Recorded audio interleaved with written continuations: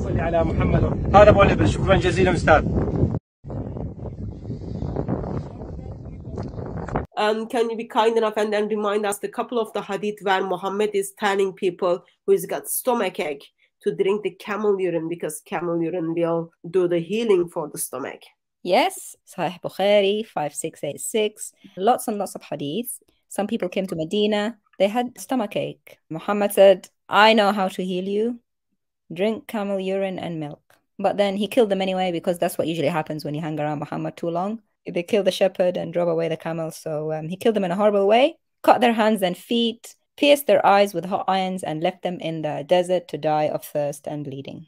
Beautiful story. And what is the moral of that story is? Muslims are like trying to get anything good, still practical from all, all, this torture and depravity. So it must be that the camel urine is useful. Don't drink camel urine. You don't say. well, it's not only you, you don't say, you like people wrote article about it. That's the World Health Organization for people who don't know. Do people drink it today? Yes, of course. Of course. Let's see, let's see, let's see. اللهم صل على محمد هذا ابو الابل شكرا جزيلا استاذ هسه هسه اشربها شفاء الفيروس الكبد شوف اللهم صل على محمد وال محمد تعال حبيبي الغالي شوف يقول شوف شوف هذا البول. شوف هذا البول مع الحليب. شفاء النبي صلى الله عليه وسلم يقول بول الابل شفاء لكل الامراض خاصة الفيروس الكبد والمرض السداد بالكبد والمرض السرطان والالتهابات شوف. بسم الله الرحمن الرحيم.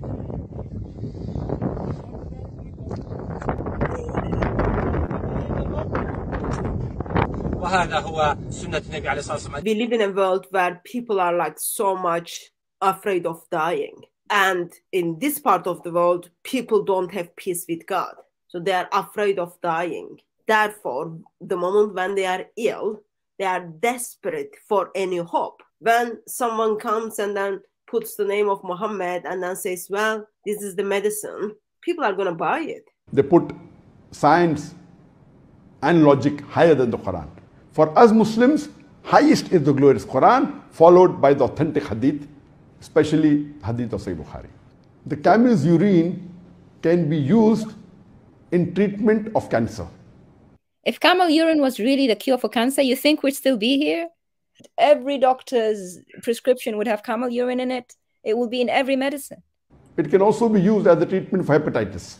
What kind of medical doctor says hepatitis like that? Hepatitis has many types. This type A, this type B, this type C, this type D. Which type? Cancer treatment, he said. Which cancer? There are thousands of cancers. And even within one cancer, there are different stages and different different ways that uh, one cancer is classified. No medical doctor would just say this one thing can just treat cancer. Which type? That, that's not how research works. Research is very specific. I just heard from medical doctor which who went against World Health Organization. While mm-hmm. World Health Organization says keep away from camel urine, and medical doctors encouraging people to drink it. It says potentially fatal. Dr. Zakir do you know what fatal means? He wouldn't know. He's just a doctor sister. if a doctor doesn't mean what doesn't know what fatal means, there's no hope. Fatal means it kills you there was no hope when he started like answering the question. It wasn't about the definition of the word system. Some poor people are gonna watch this who are ill in the Muslim world and think, yeah, let me go drink. Yeah, and then they're gonna get ila, ila, and ila. And uh, guess, sister, the rich people in the Middle East, when they get sick, where do they go? They come to UK to the doctors. they come to the Euro- Europe or they go to the US. Why don't they go to the desert and find a camel, the nearest camel, and drink up if it's that great? Camel's urine, it makes the hair lustrous and thick and is also used in the prevention of dandruff.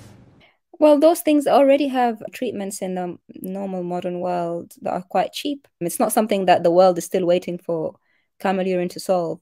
There's no need to smell like camel urine to have your hair be nice.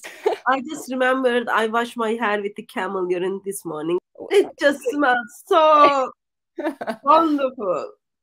Yeah, so you can you can simply like buy it.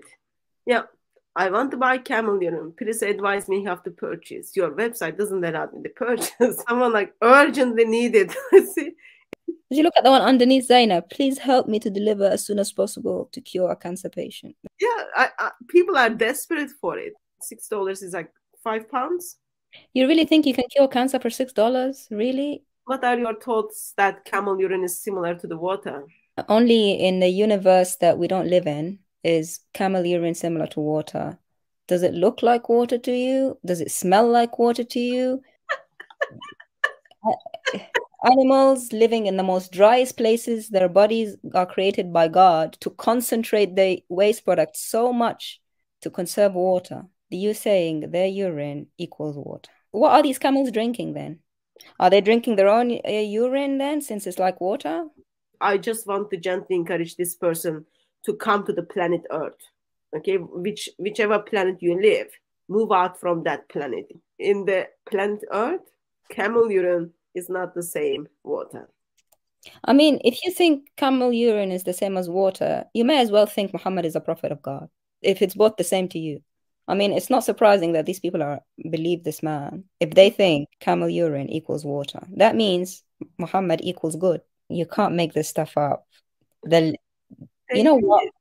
They just make it up, sister. I just you can't. They did. You know what? If they hadn't followed Islam and Muhammad, they wouldn't be laughed at now in the 21st century.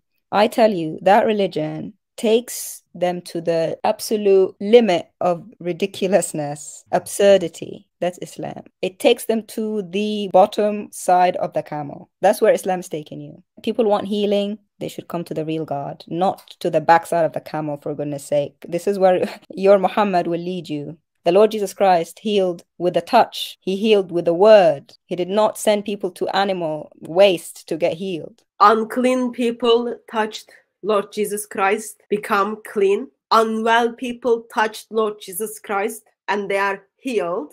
Blind people touched the Lord Jesus Christ. They saw, they start seeing. Paralyzed people, Jesus touched them. They were able to function.